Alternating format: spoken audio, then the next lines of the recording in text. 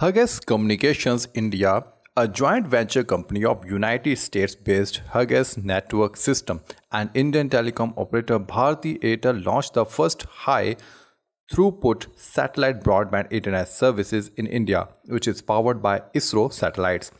This service would provide satellite internet to remote parts of India by using ISRO's GSAT 11 and GSAT 29 satellites.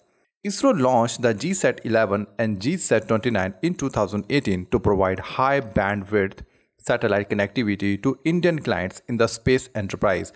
The GSAT 11 is capable of providing up to 14 gigabytes per second through satellite network.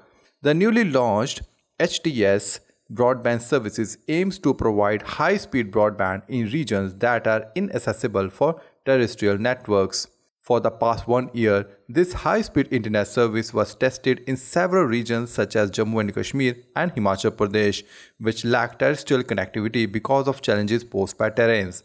The newly launched satellite internet service is capable of providing internet connectivity bandwidth of up to 100 Mbps, about 2 GB per day. It supports services such as Wi-Fi hotspots for community internet access, backhaul to extend mobile network reach, and satellite internet for small businesses. The application of this satellite connectivity is currently limited to fringe markets such as remote locations. India currently does not have the market for very high bandwidth satellite internet in such regions and high bandwidth internet are already served by terrestrial network in other places that are having high demands for internet services. The Hughes HTS service already has clients like Reliance Jio, State Bank of India and others. Jio utilizes Hughes services for 4G backhaul to provide services to remote locations for its terrestrial telecom networks. SBI uses this satellite internet service for providing connectivity to remote bank branch as automated teller machine outlet. So let's see what is a satellite internet. Satellite internet is wireless internet beamed down from satellites orbiting the earth. It's a lot different from land-based internet services like cable which transmit data through wires. Since it's the only internet service that's available nationwide, satellite internet is a reliable way to get online for many rural homes and businesses. How does satellite network works? Satellite network works by using radio waves to communicate with satellites orbiting the earth.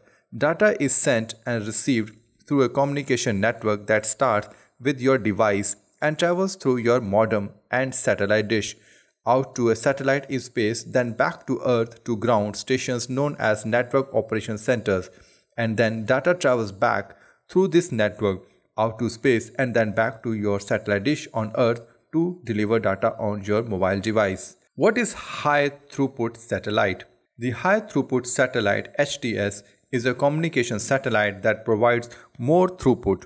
Throughput is a measure of how many units of information a system can process in a given amount of time than conventional communication satellites.